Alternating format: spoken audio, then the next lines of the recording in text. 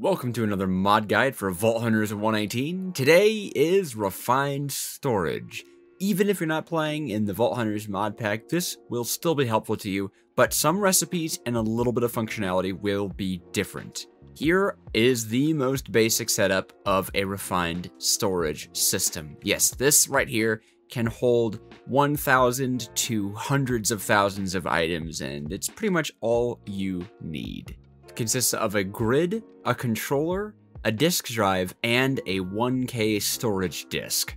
The controller is the central thing to the whole system, right? This system needs a controller. It is what stores the power as well as basically links everything together. In Vault Hunters, this is the craft. You need chromatic steel, as well as these construction cores, advanced processors, destruction cores, and improved processors.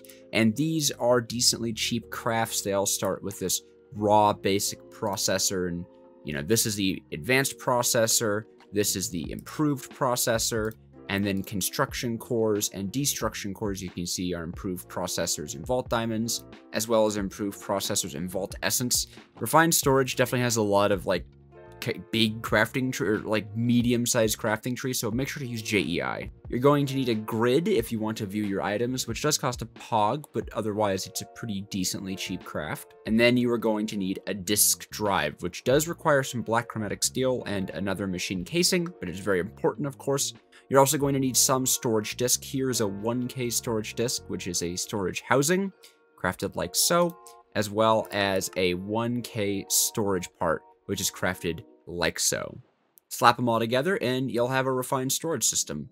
Inside the disk drive is where you want to put your 1K storage disk, and you'll see that it means we now have a thousand items that we can put in this. Uh, any item takes up one slot, so a minecart, a diamond, and an ender pearl all take up exactly the same space. It doesn't use physical storage like Simple Storage Network, it uses digital storage, so each item is one item. You can fill up your disk drive as much as you want, and there are also higher tiers of storage disks. The recipes for the storage housings remain the same, so I'm just going to show off um, the recipes for the storage parts. There's a 1K, a 4K, a 16K, and a 64K. The 1K being the cheapest. For the 4K, you'll need three 1Ks. And for the 16K, you'll need three 4Ks. And continuing the pattern, for the 64K, you only need three 16Ks in Necopog, so the 64K is pretty expensive. Do note that you do need to give power to your refined storage controller. Just here, I'm using a creative controller for the purposes of this video, but the controller is what accepts FE, so you will need access to an FE producing mod for this.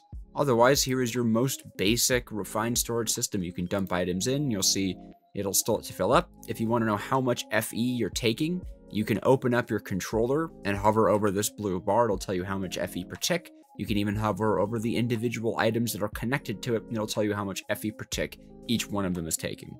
This can also be set up in any arrangement. As long as the blocks are touching the controller, they're considered a part of the network. Also, I'll use that to show off, I broke the disk drive and it dropped the storage disk, and you can see it still has all the items. So any storage disk will hold permanently all the items inside of it and you can just kind of run around with it. But you can see I can place the grid here and the disk drive here and put the disk in and it still works even though the disk drive isn't directly touching the controller. You can also extend your network with these cables, pretty cheap craft. They just require this thing called quartz enriched iron, which is just some Larimar, chromatic iron, and nether quartz. And these will connect to either your controller or any block touching your controller, and you can see we can put more items in. You can also have as many grids and disk drives as you want, but only one controller. And that is literally the basics of refined storage. There's more you could do with it, so stick around to see, but if all you needed was an absolutely basic setup, then congratulations, you're pretty much at the end of that. Getting more into the weeds here, let's talk about importers, exporters, external storages, and interfaces. An importer is a pretty cheap craft, it's just a destruction core and an improved processor, as well as a cable and the exporter is a construction core and an improved processor with a cable, so they're mirror crafts. They both very much do what you expect they ought to. An importer will attach to a chest and it will import items into the system. So say I've got my diamonds, I can import the diamonds into the system. You'll see it will fill up and update in real time. We can even watch that go up. Let's say I only want the importer to work when I want it to, so I can set it to only work while accepting a redstone signal. So you can see at the moment it's not importing our diamonds, but if I flick a lever next to it, it begins to.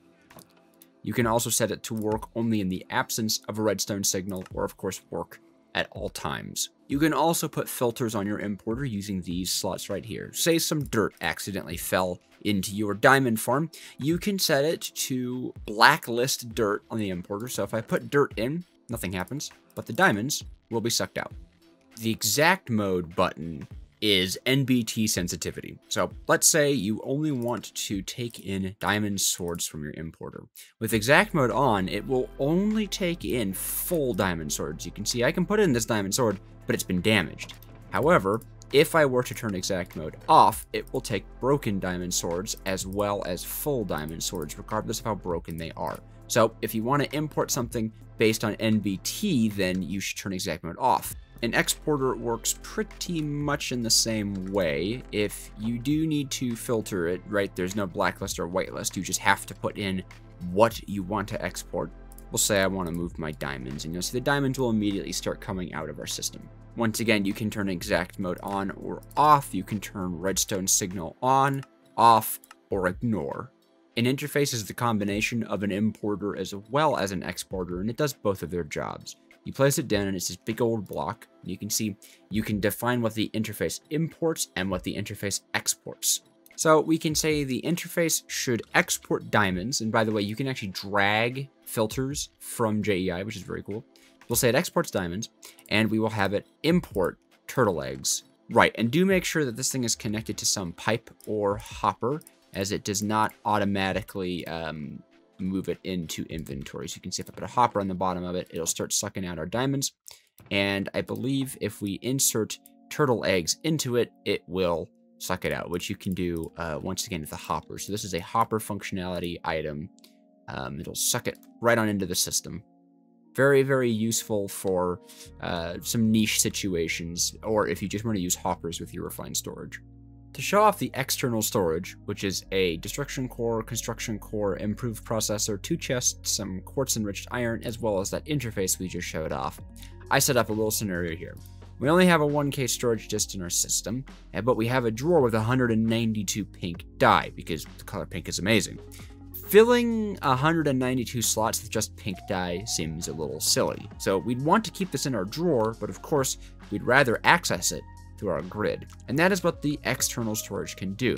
By placing it onto an item and connecting it to the system, the refined storage system will now view the contents of that drawer as a part of itself, and you'll see we can view the pink dye here, but it does not take up any space in our disk. If you're using external storages, you're probably going to want to go into your disk drive and change its priority. Right now it's priority 0, but because it's so close to the network, it's always going to be chosen first. So you can make it priority negative 50 and set that, and first when you input items into the system, or anything inputs items to the system, it's now going to start checking this because its priority is 0, which is higher than the disk drives. So if I take out our pink dye, you'll see there's nothing in the drawer, but if I put it back in, it goes back into the pink drawer, which we can check because the disk is not full. Any other items will go into the disk drive though, because they fail to go anywhere else. Alternatively, you can raise the priority on your external storage. The external storage has an additional setting, the insert and extract setting. Insert and extract means you can put items in and take items out. Insert only means you won't be able to view the items inside of the grid but they will go into the drawer or whatever it's connected to first. And then extract only means you cannot put items in, but you can take items out. So you can see I could take out a stack of pink dye. When I put it back into the system, it goes into the disk. External storages will work on regular chests, colossal chests as long as they're connected to the core or interface. They'll even connect to a drawer controller that will connect to any of the drawers that's connected to, which is a super useful bulk storage option. You can even connect it to other networks via their exchange blocks. Here's a simple storage network that has 64 andesite in it, and you can see 64 andesite. I take it out of here, takes it out of the simple storage network. I put it back in, it puts it back into the simple storage network. So you can even link other storage networks too. This works with uh, Applied Energistics as well. Exporters and importers can also be upgraded to go a lot faster. All upgrades require this upgrade base, which is decently cheap, just requiring an improved processor, and the two upgrades you can put in importers and exporters are speed upgrades, which increase the speed at which items are exported or imported, and stack upgrades. One of these will make it so that it pulls or pushes an entire stack of items. Each stack upgrade is another stack of items that will pull or push at one time. The use cases of importers, exporters, interfaces, and external storages are almost infinite. A lot of them are like if you have farms or factories with other mods that produce a lot of items, you can just import them right into the system. There's even a little more functionality that you can squeeze out of these blocks, and that is through this guy, a detector. Detectors are actually a pretty cheap craft, and they're so useful for maintaining farms. All they do is they take in a number, we'll say 700, as well as an item, we'll say diamonds. And this right here, the mode is the most important thing. This will emit a redstone signal when there are exactly 700 diamonds in your system. Now it will emit a redstone signal when there are more than 700 diamonds in your system. Now it will export, uh, or give a redstone signal when there are less than 700 diamonds. Combine that with the ability to turn off and on exporters and importers with redstone signals, and you can control farms. Here I'm going to show off a really simple use case of exporters, importers, and detectors. This is an auto smelting system. It comprises of two exporters and an importer. The exporter on top is going to export raw iron, raw copper, and raw gold to make it super easy after you come back from the mines. I've also filled it up with speed upgrades. We also have another exporter that I will eventually link to coal.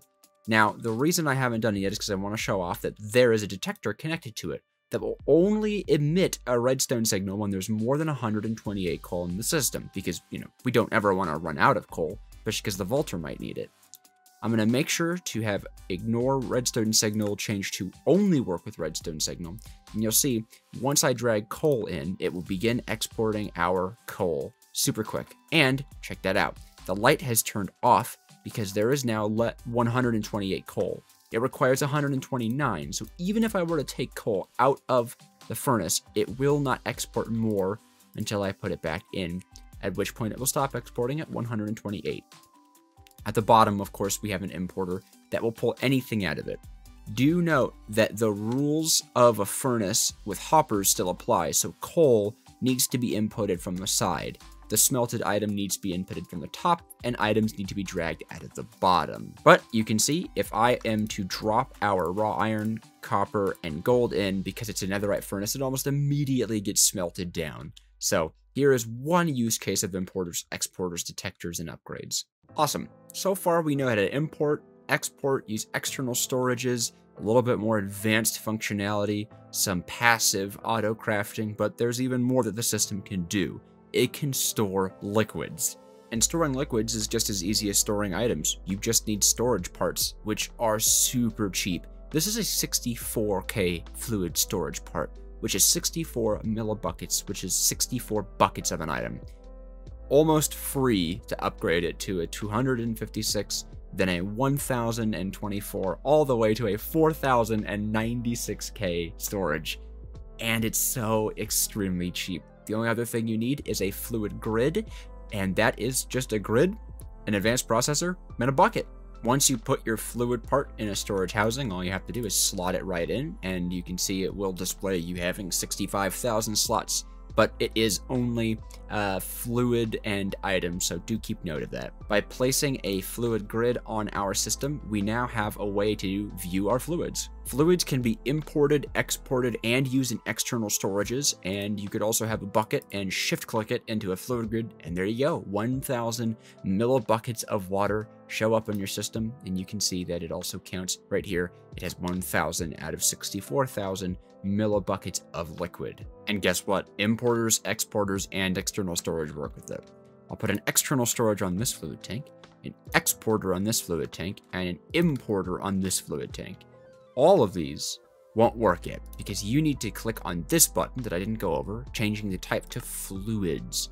You want it to be fluids and fluids and fluids. We'll fill up this guy with some lava and then connect the external storage to our system with cables like so. And you can see in the fluid grid, we now have 10 buckets of lava. I can add even more to it, and it fills right up. If we wanted to, we can then export said lava into this guy. And you can see it is now pulling out of this fluid into this fluid. You can see the middle buckets of lava go down. It's very slow at the moment, but you can, of course, augment it with as many speed upgrades as you'd like. And of course, an importer works as well. We can fill this guy up with honey, and you'll see it sucks up honey into the system. Super cool. And the last thing is you can shift click fluids with a bucket in your inventory to fill the bucket with that fluid. You guys are doing great sticking this far because there's so much more that this can do. In fact, this is pretty small. However, what if I have a base all the way behind this tree? It'd be pretty annoying to have to run all the cables to get from here to here. So why don't we go a little wireless? To go wireless, you're going to need a network receiver, a network transmitter, and a network card. And it's actually really easy. You're going to place the transmitter connected somewhere to your main network, and your receiver should go all the way wherever you want it to. Right click the receiver with your network card, head back over to the transmitter, and shift click it in. And you'll see that your receiver lights up blue, and that's that. Your network has just been extended. If I place a grid over here, I can access all the same items. You'll see uh, it is reflected on our system over here. And I could even insert items from this receiver. Bam. This receiver works with external storages, importers, exporters, fluid grids, everything. You have literally, for such a low cost, just moved your system all the way over here. In fact, you can move it pretty much an infinite number of blocks, but just know that for this to function, the chunk that your main network is in, as well as the extended network is in, do need to be loaded. This will not work in unloaded chunks, but it is probably the simplest form of extending a network. Now, extending your network to another place in the world is pretty cool, but what about extending it to your inventory? Well, look no further than a wireless transmitter, which this is a block of ender pearls, by the way, and the wireless grid. It does cost a grid and a wireless transmitter, as well as a block of quartz enriched, or two blocks of quartz enriched iron, but with this, you can literally open this inventory from your inventory. Do note that a wireless grid does need to be powered with FE. For the purposes of this video, I'm going to be using a creative wireless grid, which does not need FE. Just like everything in this lovely system, you can place your wireless transmitter anywhere where it is considered connected to your network.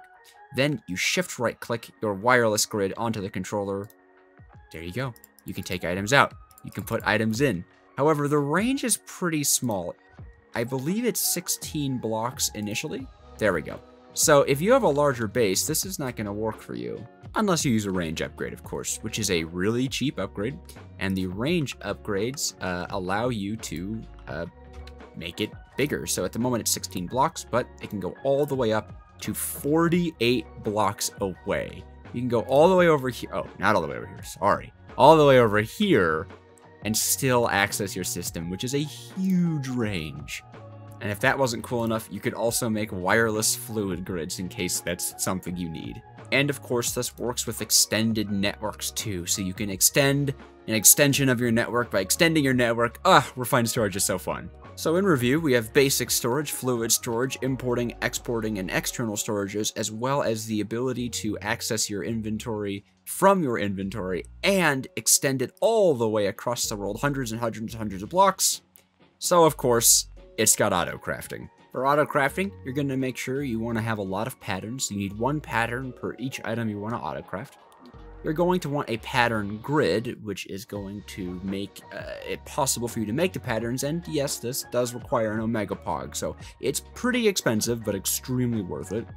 You're going to need a crafting monitor, which is sort of the CPU of crafting, and it's just the patterns and machine casings, a little bit of glass and improved processors. And then you need a crafter, which a little expensive, but one crafter can craft a ton of different items. Once again, you're free to connect these however you would like to your system.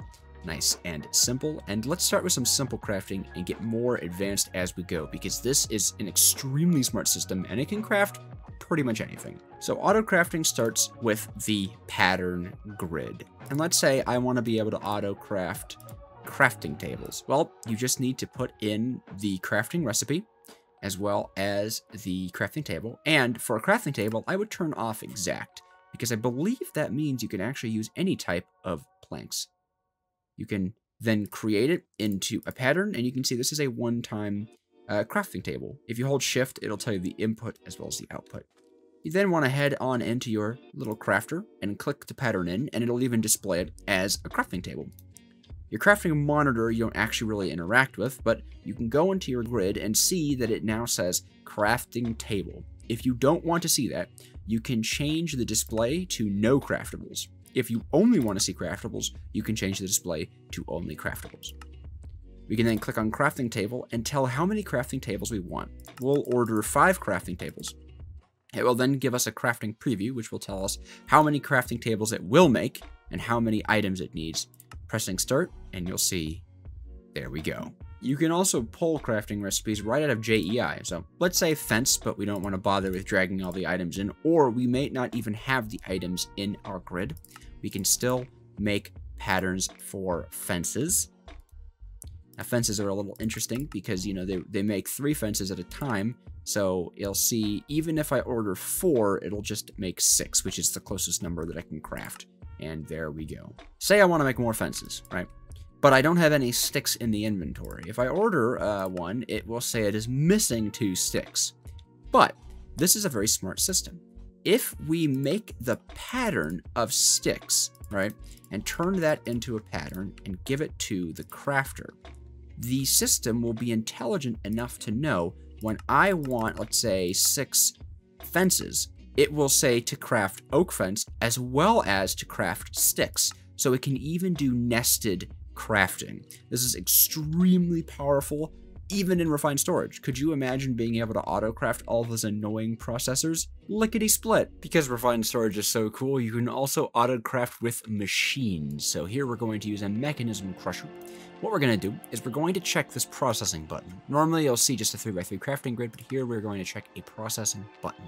And for this, let's make some netherite dust, which requires a netherite ingot as an input, and we'll take netherite dust as an output.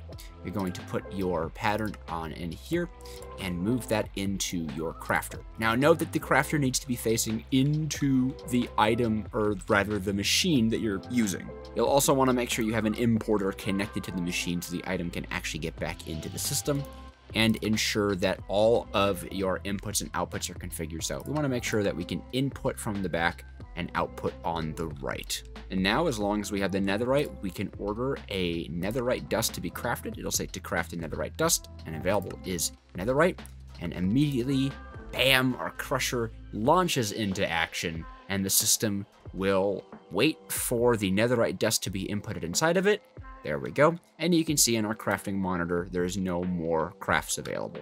And of course, we have our netherite dust. You can also auto-craft with fluids and items. Let's say we want to make ice with a blast chiller. Well, that requires some water. Initially, you can see I cannot drag the water in, but if I check fluids, it'll accept water as an input. One bucket of water to one ice block, and we're going to have our crafter connected to the blast chiller, which takes in a liquid and puts out an item. We can then place our pattern into the crafter, and of course make sure your outputs and inputs are configured properly. You can then order a piece of ice to be crafted, where it will fill it with some water that will begin chilling it right on into ice, and place it inside of the system, and congratulations, you've just auto-crafted. Admittedly, I doubt I need to explain how absolutely useful auto-crafting is, especially when it comes down to big crafting trees. I mean, with thermal expansion brewers and stuff, you can auto-craft potions from just water, nether wart, golden apples, and redstone. Like, you don't need, or uh, glowstone. Don't need to put a lot of work in, and of course, the more upgrades you give to that, uh, the better it'll be. And of course, refined storage can do even more. So here are just some tips and tricks and fun use cases. If you hold down shift and scroll wheel, while uh, over an item, you'll see you can pull out one item at a time. Holding down shift also locks the item in place, so the rest of the GUI doesn't update until I let go of shift. You can also right click to pull out half a stack, or half the stack of items, uh, whichever is most appropriate. This is a filter which can be used to have many more filter slots inside of the filters of importers, exporters, external storages, anything that requires filters. You can mod filter, you can check for NBT, you can filter for fluids, you can change it from a whitelist to a blacklist, you can even give the filter an icon and a name because they can also be used to create tabs. Here I have a filter called valuables with a diamond as its icon and diamonds, iron, and gold inside of it. You can see I have diamonds, iron, and gold in my system, but if I put the filter in one of these filter slots, there is now a tab where I can hide everything but my diamonds, iron, and gold. I can click it again to go back to my main view, and of course click it again to go back. You can have up to four filters. However, you can put filters inside of filters to have more than four tabs. A grid can be upgraded through the use of a Echo Pog into a crafting grid, giving you a crafting table inside of your grid for easy peasy use. Not only can you have a wireless fluid grid, regular grid, but you can also have a wireless crafting monitor to view uh, your crafts, as well as a wireless crafting grid to have a crafting table within your wireless system. Your refined storage network can be extra dimensional through the use of simple networking. It doesn't require any extra steps just in the same exact way. Oh, seems like I was testing this out already. Cables can be covered with covers. There are hollow covers to have cables coming out of, as well as regular covers to just fill in one face of the block. You can craft any block into a cover by placing it in the center of your crafting table and putting an iron nugget on the other side. Uh, I can't craft this because I don't have it unlocked, but just imagine it working. And it's a really simple way to cover up any cables, importers, or exporters. You can create a storage monitor and while shift right clicking, put an item in it as a filter to display a big old visual of how many items you have in your system. This is not a drawer, so punching it will just break it. And most importantly, almost every glowing block in refined storage can be dyed some color. Well, that is refined storage from the beginning to the end. I'm sure there's stuff that I missed, but this should take you through like 99.9% of all use cases should be covered by this. I really appreciate you watching, and if you enjoyed, why don't you subscribe for more of this guides and Let's Play content if you're into that. And uh, yeah, I hope this video helps. I hope Refined Storage is more illuminated for you. Any questions you have, put them in the comments below and I'll see you in the next guide.